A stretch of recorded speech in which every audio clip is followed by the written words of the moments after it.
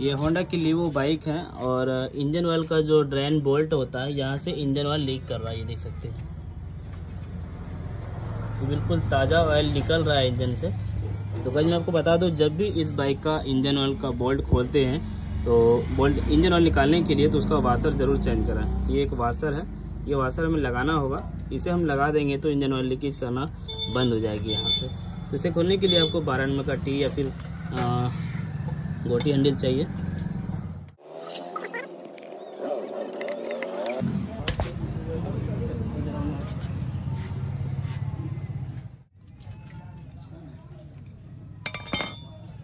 तो दोस्तों, ये होता है वाशर इसका।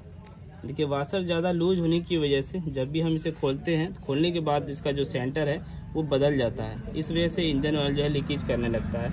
और आप बिल्कुल देख सकते हैं, इसमें जो है घाट बन गया। ये अलमिनियम का होता है। जितना बार इसे टाइट करेंगे, उतना बार जो है इसमें अलग अलग घाट बन जाएगा। यहाँ पर ये देख सकते हैं। ये घाट बनने की वजह से जब मैं इसे टाइट करूँगा तो सेंटर बदल जाएगा। जब हम नया वासन लगा देंगे तो एक जगह ये टाइट हो जाएगी और इंजन ऑयल लीकेज करना बंद हो जाएगी।